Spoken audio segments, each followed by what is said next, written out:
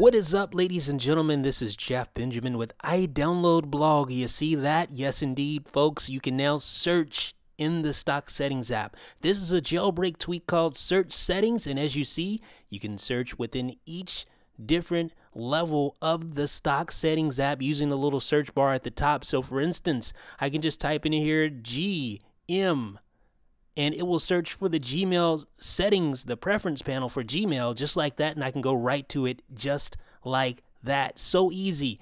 And I can search for other things like cellular, pull that right up. Uh, the only thing about this tweak is that you can only search at each level. So, for instance, data roaming, I can search that if I'm within the cellular preference panel, but if I try to search for data roaming on the you know the top level of the settings app it won't find it because it's actually in cellular. So it won't search every little thing within the stock settings app but it will search at each level and that is still very handy. And if you want to try this out you can head over to, to uh, ryan Petrich's beta repo download search settings for free and let me know what you think in the comment section. This is jeff with idownload blog